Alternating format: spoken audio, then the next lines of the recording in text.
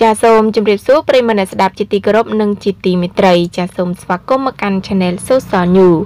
ចាសវិលមកជួបគ្នាជាថ្មីនៅអត្ថបទព័ត៌មាននិងរឿងរ៉ាវថ្មីថ្មីជាបន្តប្រកែកណាទៀតរកឃើញផុសតាំងស្នាមមួយនេះនៅលើអាវពួកម៉ាក់ជីកទុកនោះទំនងជាចាតេងម៉ូហដ្ឋារធិដាចាហៅកាត់ថានីដាផាត់ឆារា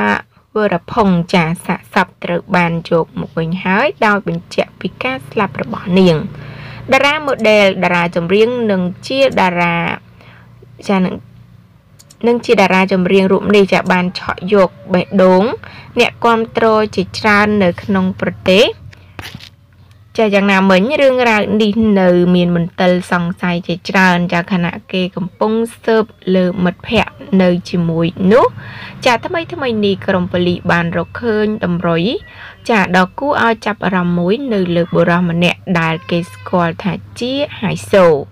ចាហៃសូនោះដល់រកឃើញអាវរបស់គេចាមានស្នាមដាច់រហែកចាម្យ៉ាងទៀតគេសង្ស័យថាកំឡុងពេលនៅលើទូក អាចមានការប្រកែកចាប្រតែយប្រតប់គ្នា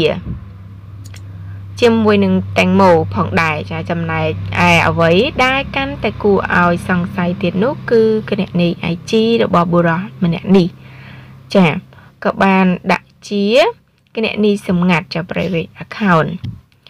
ចាដែលគណនីធម្មតាមិនអាចចូលឆែកមើលរូបភាពបាននោះទេបកមកវិញប៉ូលីកំពុងតែប្រមូលភស្តុតាងមិនទាន់ អាចកំណត់អំពីហេតុការណ៍ដែលបានកើតឡើងពិតប្រាកដនៅឡើយទេ